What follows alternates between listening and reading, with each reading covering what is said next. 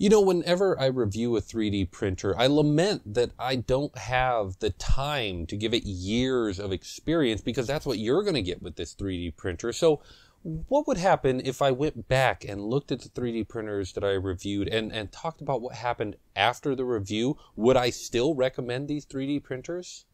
Let's find out.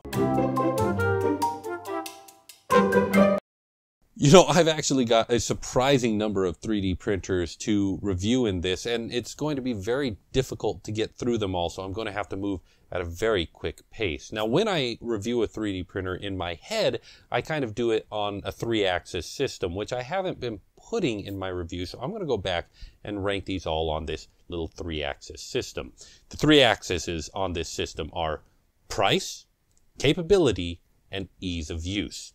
If it's very, very cheap, it's got a high rating on the price. The second axis is capability, and the thing about capability is it again, it's subjective, but it depends on a lot of things. It basically asks, what can you produce with this? So a bigger 3D printer is more capable than a smaller one. A multi-headed 3D printer is more capable than a single-headed 3D printer. What happens when you get a small multi-headed 3D printer up against a large single-headed 3D printer? Yeah, these numbers kind of change a little bit. Capability is also affected by how easy it is to use and maintain the 3D printer. That is to say, if this 3D printer is closed source and it breaks and you're never going to be able to fix it, that's going to be a big hit to the capability because you can't use a 3D printer that doesn't work. And last axis is ease of use. Now, for a lot of people, they will abandon and ignore ease of use. They would rather have a 3D printer that is harder to use if it's more capable and cheaper. And in fact, that's what you're going to get a lot of the time. But for me, I feel the ease of use is an important metric for 3D printing in general. If 3D printing is going to move forward, the 3D printers have to get easier to use. And so I'm always on the lookout for that 3D printer that's cheap, capable, and super easy to use. And that's why I rate these things on there. Now, ease of use again plays into how easy it is to fix as well and how easy it is to maintain. Just like in price if you've locked me down to having filament from a single source that you're going to overprice me on while the initial price might not be high the price to use is high so that'll be a negative bump in the price. So yes it's a complex scale and it's very subjective and, and don't don't worry if if it's a little bit fluid but it's I'm going to go through this real fast and look at these 3D printers and try and put this on the scale so that we can compare them.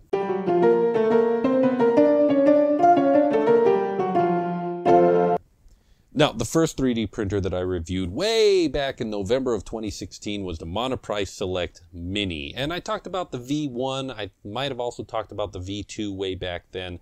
But the Monoprice Select Mini 3D printers are super great on the price scale. They're not that capable because they're small and they are single headed. And the V1s couldn't even do very many materials, but the V2s upgraded the hot end, so they were capable of doing some higher temp materials and things like that. Slightly more capable, but overall their capability score was passable but low.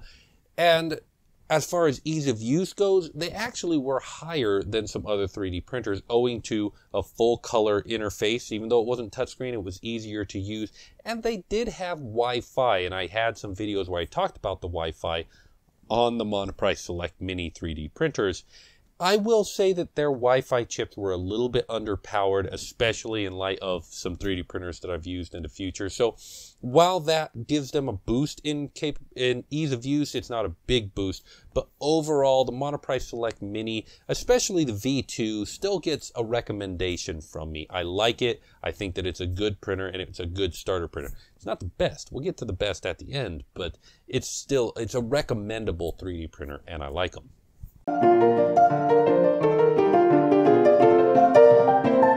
The Wanhao Duplicator 6 is a printer that I'm not using much anymore. I used it for a little while and I was impressed with some things about it. It is slightly more expensive than a mini 3D printer, but this ain't a mini 3D printer. It's much bigger, much more capable. I like the enclosure that makes capable to enclose it and keep it enclosed so that you can use higher temp filaments and things like that. Plus, in light of the current VOCs scare, it's good to have an enclosure on your 3D printer to keep those VOCs away from you. So I'll give that one a slight bump into capability because of that as well. As far as ease of use goes, I love this thing's user interface. It's stolen from the Ultimaker and they didn't actually change some of the things that they should have because this was a direct drive, so its loading and unloading filament shouldn't say insert it in the back, it should say insert it in the top. So that maybe gives it a slight negative bump, but overall it's more usable than bare Marlin and I I like it. I like this 3D printer. It's not excellent in anywhere, but what it does is good. It's got a good solid triangle on my little scale there, so there you go. Then I reviewed the ANET A8, and that one gets no score whatsoever. I'm sorry, the ANET A8 has become such a health risk, bursting into flames for so many people that I not only can't recommend it, I give it a negative recommendation. Do not ever buy this death trap. It's a piece of garbage and not worth handling, and I'm not going to say anything more about it. You know what it's like. You see a cool new filament and you want to try it out, but as you're hovering over that buy button, you remember the last three spools of fancy filament that you bought, used for that one thing, and haven't used since. You could join one of those monthly filament subscription boxes and maybe get one or two of the cool ones, but you'll also be buried in more samples than you can use, not to mention the. Seriously, red PLA? It sounds like you need the 3D Printing Professor Filament of the Month Club. Each month you'll receive a generous coil of just the good stuff, enough to work with it, but not so much that you'll feel guilty later. Thanks, 3D Printing Professor. Wait, that's me. Join the Filament of the Month Club today.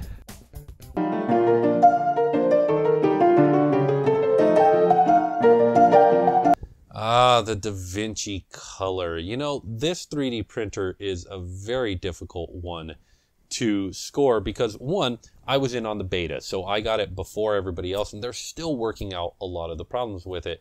And two, I had some problems with it after I did the video. Let's put it on the score. Price, it's super expensive. It's not just expensive to own, it's expensive to operate because you have to buy your filament and your ink from DaVinci and they charge a lot for it. Its ease of use is actually fairly high because it's got a great slicer, it's got a great touchscreen interface. I like it. It's got a high user, it's got a high ease of use, and so I'll give it a good score on that. But in capability, it does what no other 3D printer can do. And it only does it with their PLA. You can't put in high temp carbon fiber. You can't, you have to use their PLA if you want to use this machine. And so while it's more capable than any other 3D printer, or it's capable of what no other 3D printer is, it's not capable of a lot of the things that other 3D printers are. It's got a nice big build volume. So I'll give it that. But its capability score is a weird one. And I'm, I'm going to kind of have to say it depends on your needs. Now, I do really, really like this 3D printer. I don't recommend it in the general case, but that I have one, I'm very happy with. And I'm getting back into using the DaVinci Color, so there will be more about this in the very near future. Okay, let's call that good for this time. When I originally made this video, I had intended it to just be one long super mega re-review, but it really ran a lot longer, even after editing my thoughts down. So I'm going to break this up into multiple parts, and uh, I guess that kind of means it's a return to March Madness! Remember last year, I had March where I reviewed a bunch of printers, and here I am again reviewing printers in March.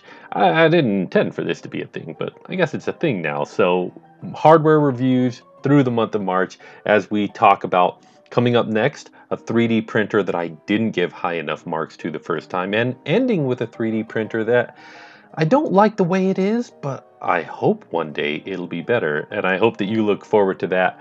I will see you in the next video. Thank you very much for watching. Hey, if I mentioned anything in this video, you'll find a link to it in the cards and you should check that out. Did you know that I'm social? I've got links to all the socials and you should stop by and say hi. I really kind of enjoy it when that happens.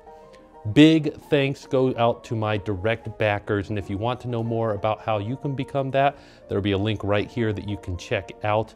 And as always, I want to remind you safety first because I care about you. And I'll see you next time. Oh, that's interesting. Classic one there.